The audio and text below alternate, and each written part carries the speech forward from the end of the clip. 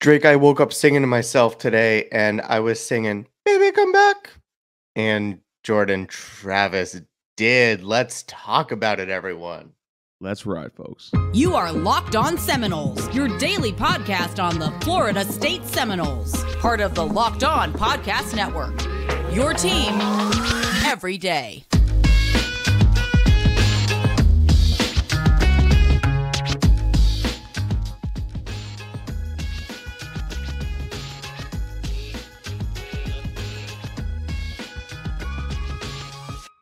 Good morning, good afternoon, and good evening, and welcome back, like Jordan Travis, to another edition of Locked On Seminoles. What's up, everybody? It's your boy Drake here, and today in the StreamYard, I got Mr. David Wise. Davey, what's good, good looking? Drake, I could not be in a better mood this morning. Um, you, I think you mentioned to me last night that it's fun to not suck, and man, did you hit that nail on the head? And a large part of that fun started and ended successfully with number 13, who decided to cleat it back up. That was the smart decision. Let's talk about how smart it was, why it was so smart, and what that means for us. Let's do it, folks. In today's episode of Locked On Seminoles is brought to you by Omaha Steaks. Omaha Steaks is a gift from the heart, a gift that we remember with every unforgettable bite. Order with complete confidence today, knowing you're ordering with the very best. Visit omahasteaks.com. Use promo code locked on L O C K E D O N at checkout to get the extra thirty dollars off of your order. David, Yeah. five six one's very own Mister Jordan Travis, JT thirteen, the gamer himself, announced last night that he's coming back. Yep. David, where do you ex- where do you want to first go off with this? Where do you what, what do you want to do with this right now? Because quite frankly, this is a very important decision, and it's also something that quite frankly could be a domino effect for other pieces to come back too. Right. I, so I think I want to start here. Um, I hope everyone doesn't underappreciate how big of a recruiting win this is because we're in a day and age now in the transfer portal era and in the NFL draft era where kids tend to leave as quickly as they can kind of smell like there's money for them. A, a lot of kids do that, whether it's the best decision for them or not. And it's up to the coaching staff to try to lure our kids to stay at your school now. It's not just enough to get kids to your school. Now you got to lure them to stay at your school now too. Um, and Let's, say- well, let's, let's use recruit because lure That's a uh, yeah, let's that- that's well. But problematic. All right, I, yeah, I, was- yeah. I know I know you've been listening to a lot of those murder podcasts. Come on, man. You have to entice them to the stay at your school. Yeah, that okay. But anywho, um, yeah, that this is a big win for Mike Norvell. Um, this is the most important player um on our roster that could have left. Yeah, Jordan Travis was directly responsible for us staring down a 10 win season. And to get him to stay, to sell the vision of what another year could do for him of growth, lets me know that Jordan Travis and his advisors trust the coaching uh, and their development of him. And boy, has Jordan Jordan Travis developed over the last couple seasons progressively. Um, if he can take another leap, which I, I don't have much of a reason to believe he can't with how how he's grown under this staff and with these teammates over the last couple years, the sky is the limit for this team. And and we thought we didn't see this coming this year. I just sure wonder what what what the future holds for us next year with another year for Jordan Travis. It's the best possible news could have gotten last night. I mean, it's it's great news primarily because he's someone that you're right, Dave. He was instrumental in this team becoming a nine-win team. He stayed fully healthy for the first time all season.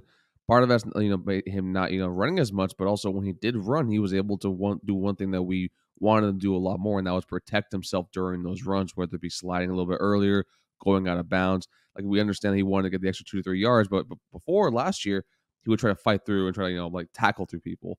But now you see him actually making those business decisions. Decisions. See what I did there? Overall, it's actually going to protect himself and probably help his team as well. And this is something that we were worried about the state of QB room if he did left, and that's something that now that we can just is a moot point because uh, there's the homie's back. QB one is back.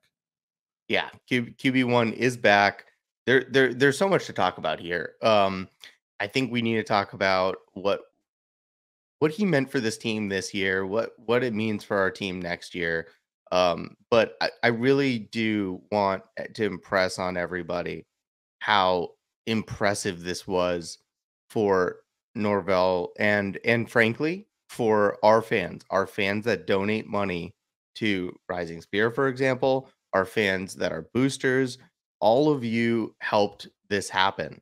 Um, and and and even those that didn't contribute money, those that went to the games and made it in an, an atmosphere this year that makes it hard to not return to because it's just so incredible to be incredible to be the quarterback at Florida State. Um, hats off to you. Job well done. This is exactly the kind of thing we need to be able to do. This this is a this is a big money move. It's the, exactly the kind of move we need to be able to do to keep up with the big dogs. So I, I'm just I'm I'm really proud of our fans and I'm really proud of our coaches and just just our whole school for being able to pull off one of the the, the big recruiting um, I don't want to say heists, but but one of the one of the big recruiting uh windfalls. You could say the heist of of the last several years for this school, at least.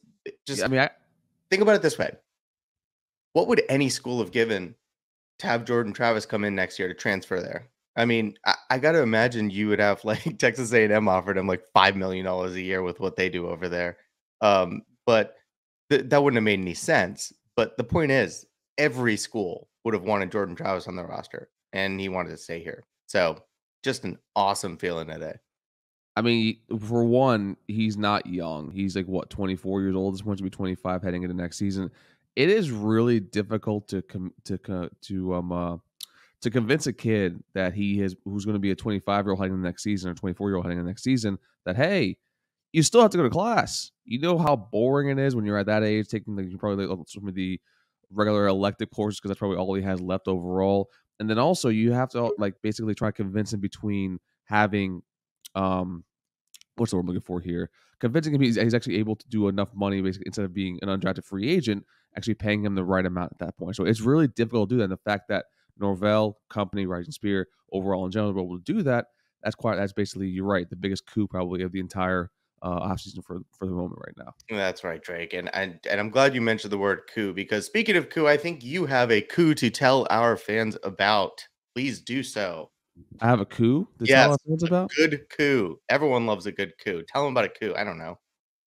Well, folks, that's how about talking about our friends over at Omaha Steaks, the title sponsor of our show. Is that the is that the coup you're talking about right now? It... Yeah, getting all those steaks for that price, that's a coup. That is really coup, because folks, the holidays are here. Achieving great gifting greatness when you get the gift of a perfectly aged, tender, and delicious Omaha Steaks. The steak experts at Omaha Steaks have put together special curated gift packages to help take the guesswork out of gifting and also to make you a holiday hero. Folks, go to omahasteaks.com and take advantage of 50% off site wide plus use code locked on L O C K E D O N at checkout to get an additional $30 off of your order. Omaha Steaks is a gift from the heart, a gift that will be remembered with every unforgettable bite. Order with complete confidence today, knowing you're ordering the best. Because, folks, Minimum order may be required, but visit omahasteaks.com today. 50% off site wide. Use promo code locked on L O C K E D O N at checkout to get the extra dollars off of your order because, folks, it's holiday season and let's get thick together with Omaha Steaks because they're delicious. Drake, this is a coup themed episode apparently because we're we're getting these great deals on steaks and we now have a coup down below us. I see. Would and I forgot to use I forgot to use the damn overlay too for Omaha Steak, so it's gonna be for the rest of the show on here. But so hold, give me one second, change the background, yep. and then we let me bring him in real quick.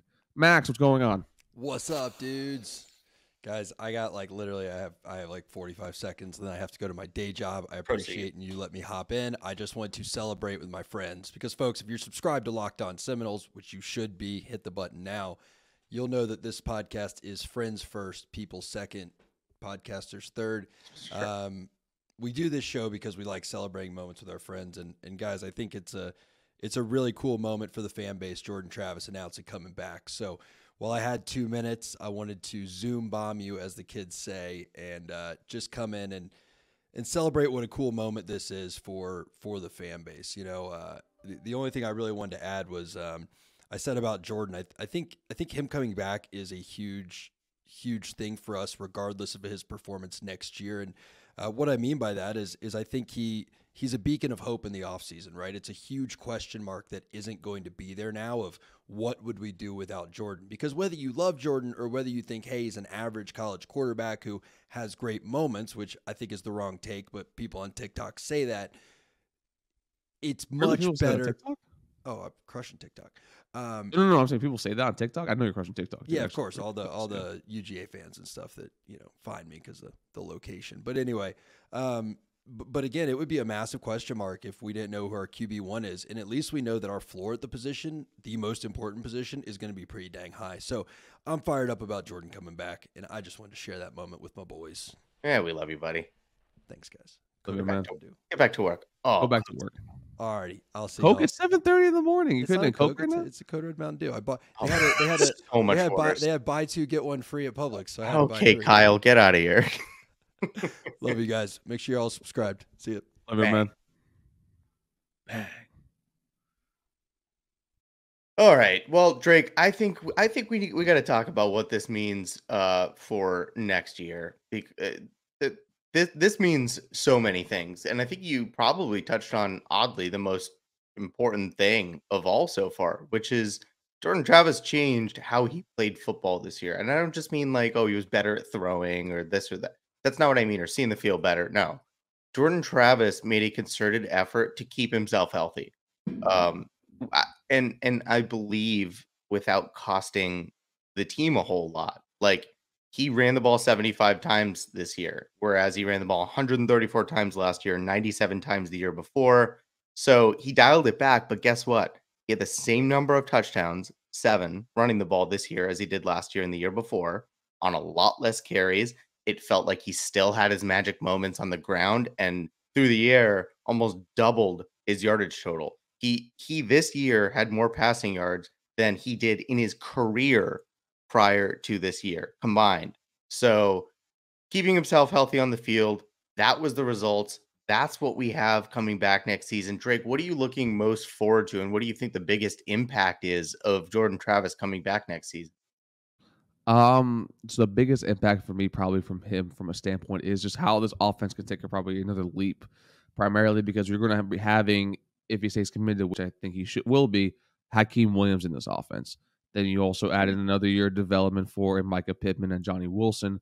Johnny Wilson, all he needs, to, I think, all Johnny Wilson needs to do is be a little more confident with his hands, and actually he become very, basically a very dynamic weapon for you. You also bring in Winston Wright, also probably into the fold next season. Now we don't know how he's going to be health wise, but this isn't the same thing as McKenzie Milton, where you rush him back from injury. You basically had he basically had almost what a one year, almost a two year kind of rehab period he's going to be having at the, at the point next season. So that's yeah. going to be a boon for you too as well. And just seeing how we I forgot who posted. I think it was Brenton from two four seven posted the uh, the trajectory track of Mike Norvell quarterbacks. Always in year three, they take a huge leap. Now we can see what, what year four has actually with Jordan Travis under Mike Norvell, and that's something that, quite frankly, is super exciting for an offense that was what top 20 top 15 the country overall when it came to rushing and passing. So to me i'm just excited to see how jordan travis is able to take help help his offense take another step forward.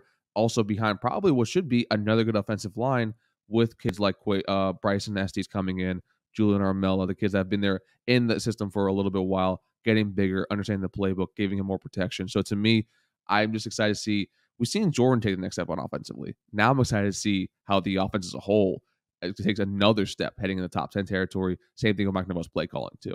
Right. I think the what was the the UNC quote? The ceiling is the roof. Uh, for, yeah, for next year. Mike Jordan.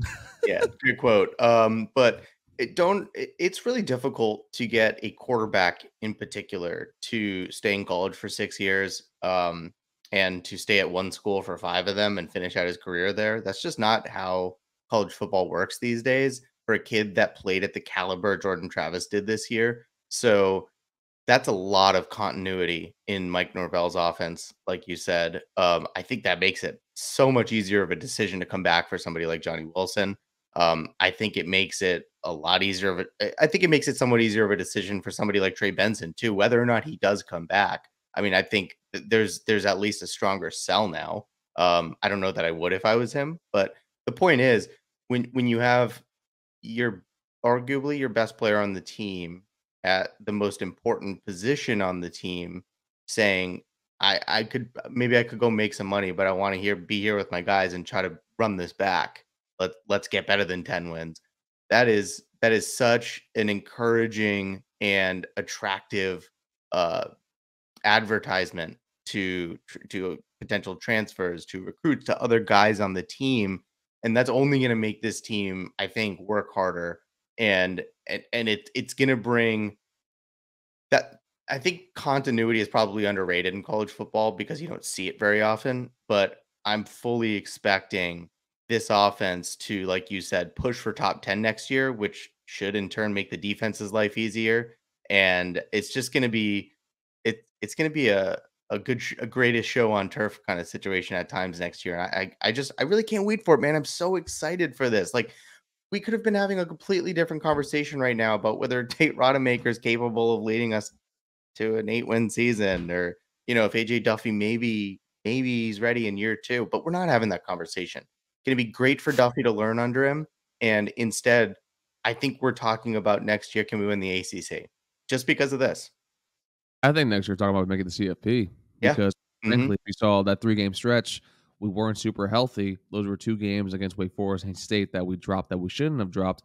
And talking about eleven and one team, Yep. wouldn't be the ACC championship game, but we probably would have been probably in the top ten, maybe number five, number six, around there. And also, if we're being honest, if we ran it back against Clemson right now, I don't think we would lose. I actually think that we probably would handle them not easily, but it would probably be a closer game. We'd win the game overall.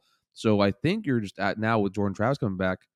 It's a sign for things to come. It's a sign that we are fully expecting for other pieces to come back that are very important. And it's also we're expecting to make we're expecting to be a top 15 preseason ranked team. So heading into next season, we already have that kind of foot, kind of you know moving forward for us, and also most likely being in that CFP conversation as well as win the ACC because the ACC remember next season is no longer by divisions, is by best record.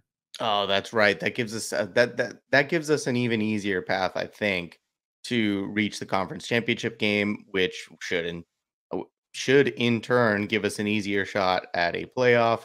That's where we're talking about this team right now. You're absolutely right. That that is the territory that this team. I'm not saying we should or will, but I'm saying we should absolutely be in that conversation next year as long as Jordan Travis is is maintaining, if not improving. It, it- I think playing at the current level he played this year should be enough for that.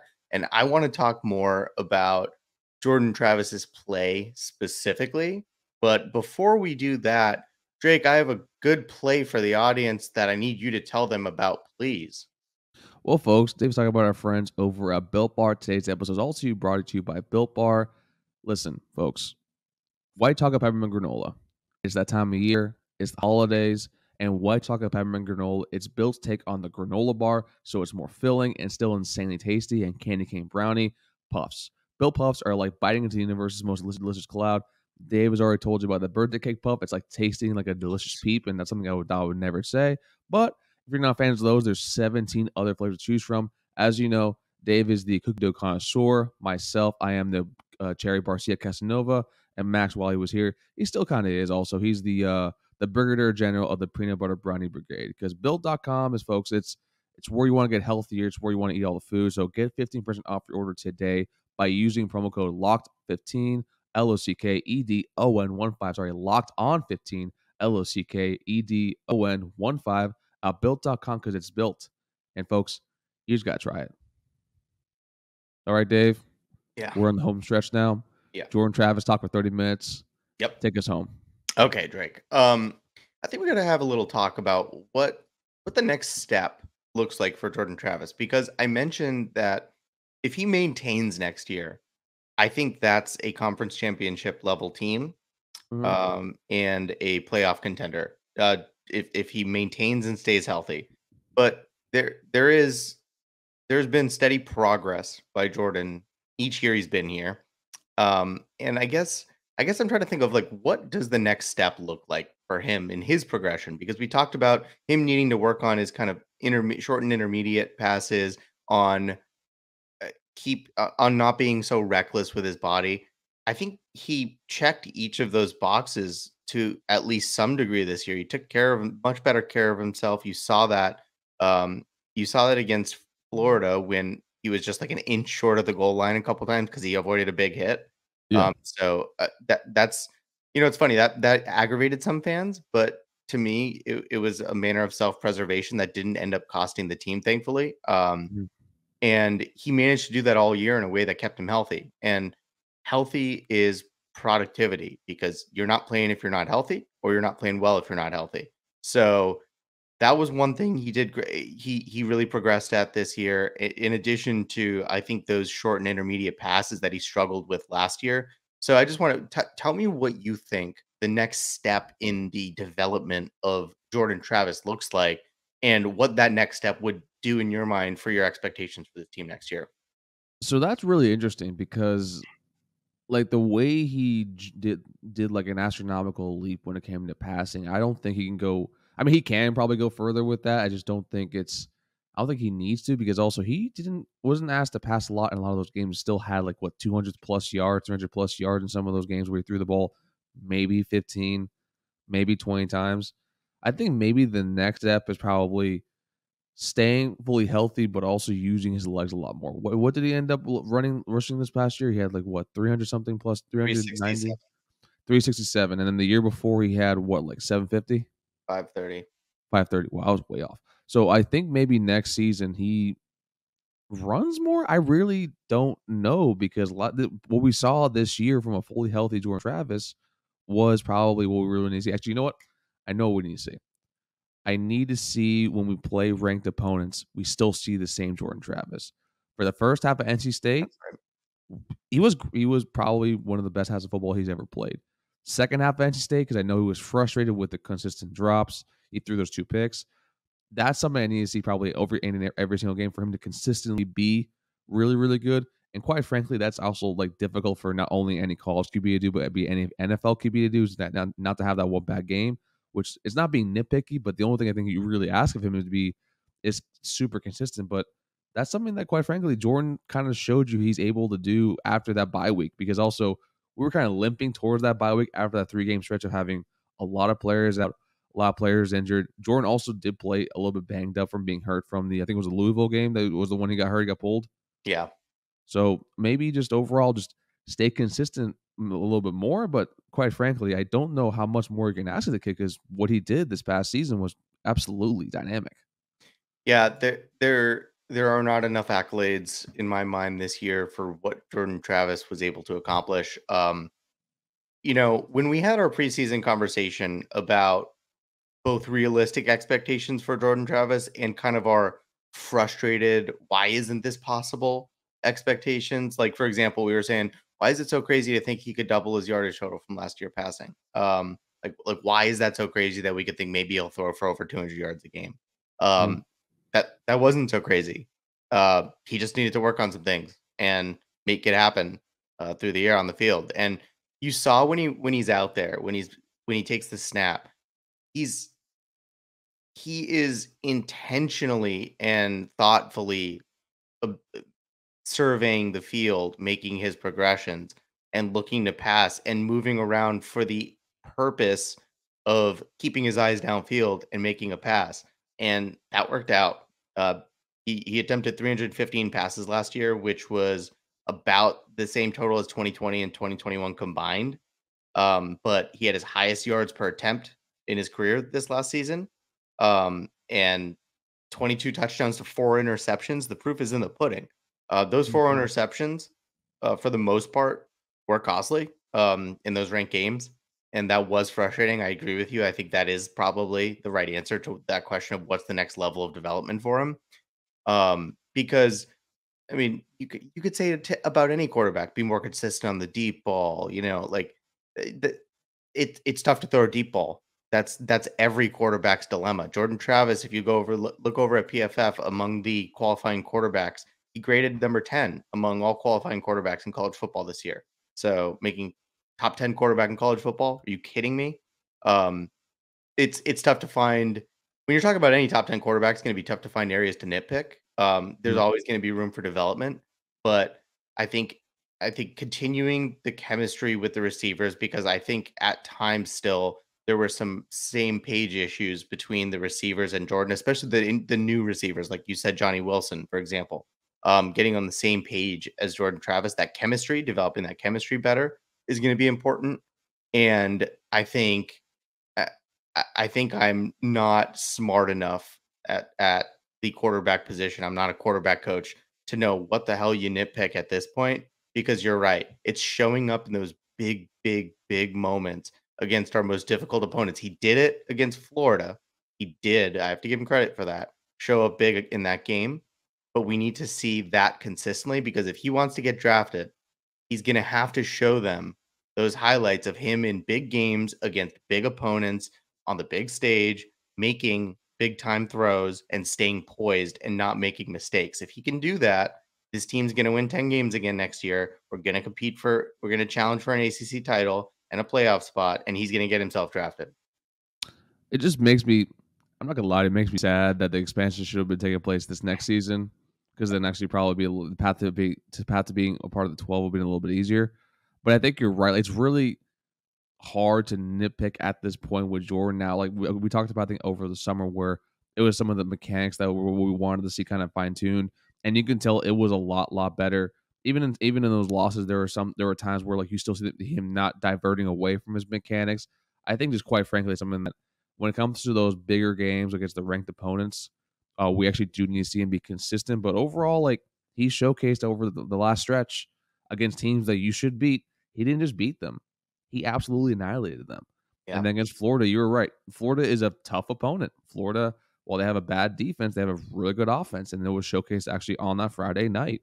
And he was absolutely nails and carried the team on his back, though. So to me, with Jordan Travis, he is the dynamic piece that this team needs to run because we would have had so many questions heading in next season what this team could have been without JT.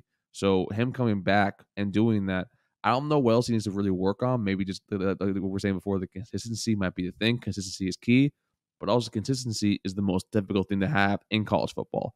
As a team as a whole, the only teams that are are consistently consistent are Alabama, Georgia, some now apparently Michigan and Ohio State, but even those teams have their slip ups, have their mess ups. So with Jordan, if right now, I think quite frankly, he I think what's more tasks for the offense around him to take the next step forward, not just him. Yeah. That that's right. So just so everyone knows, like Jordan Jordan had a 63% completion percentage this year. His receivers dropped 7% of his passes.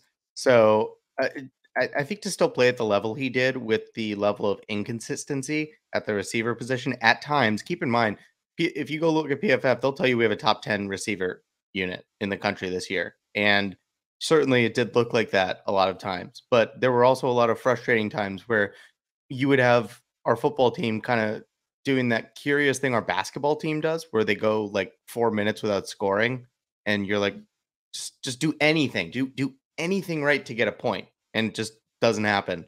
Um so you saw times like that with the receivers this year, right? Alligator arms and and eh, Jordan Travis managed to do what he did in spite of some not so great pass blocking and in spite of a little bit of inconsistency in the receiver play.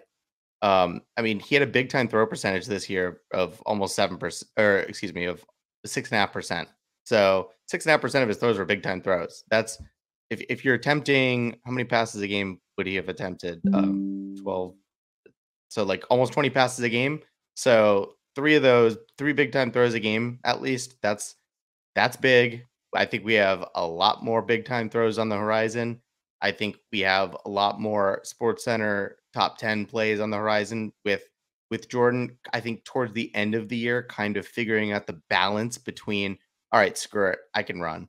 And I do, I should probably tame my running to keep my arm and my body healthy. I think striking that balance, he did a little bit towards the end of the year better than prior in the year. And that coming back next year, that's a lot of command of a playbook and an offense. And I think I think he's going to be doing a lot of work on that next step this offseason and and just just honing in. And if that accuracy improves to the point where some of those throws that were just off this year, it re- the margin really is that thin that I think that's the next step between Jordan Travis being truly one of the best quarterbacks in the country and and on draft boards and the difference between that and us being a good nine win team And so if that's that next step, we have the world to look forward to. Can't imagine being in Miami spot, having no idea what the hell they have at quarterback, but glad we're not them. Always with the parting shots. And I mean, that's just right. Jordan Travis, he's coming back, folks. We hope you come back each and every single day and make Locked On Seminoles your first listen because, folks, we love having you here. We love talking about Florida State Seminole sports, even though Dave did give the parting shot. Also, to the basketball team, Dunk Dribbles and Dimes will be back in some capacity when conference play does resume. But we also will relegate to probably the weekend and basically having it for 10 minutes or less because uh the basketball team, it hurts me and Dave a lot because that's one of our first loves. But Dave, please let the folks know how much you love them and also what to do in the YouTube podcast instructions. Drake, just tell me to do my thing next time. Just just say do your thing. Drake, everybody, I love you. But now Drake's already told you I love you. Now the moment's ruined. I hate when he does this. But for the podcast, find us on Spotify, Stitcher, Apple, Google Play, or the YouTube. Like the video, subscribe to the channel, turn on your notifications and leave us some comments. What are you most looking forward to next year from Jordan Travis and this offense? What did we miss? What is what do we what did we miss about what Jordan Travis needs to develop going into next season? Please let us know. Because I mean, look, we're three weeks from the bowl game. We have a lot to talk about between. We, I mean, we don't have a lot to talk about to fill every day between now and then, but we're gonna have to do it, and we're gonna have a lot of Jordan Travis to talk about. So talk to us about it. My apologies for ruining the moment and possibly the entire evening. But yes. folks, that was Dave. This is Drake, and we'll see y'all next time on Locked On Seminoles. Take care, everybody. Go, six, one, stand up.